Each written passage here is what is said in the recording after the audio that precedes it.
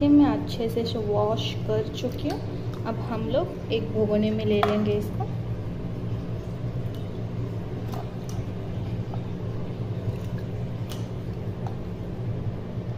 ये देखिए, अब इसमें हम लोग ऐड करेंगे नमक।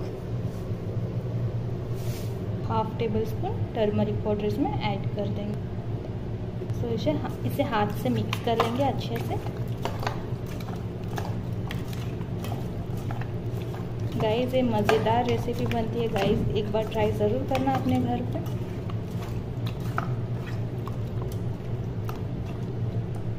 आँच पे इसे बस पकाना है। इसे थोड़ा टाइम लगता है बट रेसिपी बहुत मज़ेदार बनती है गाइस तो ना इसमें पानी ऐड करना है, अब भी इसमें कुछ है, अब हम इस पर एक प्लेट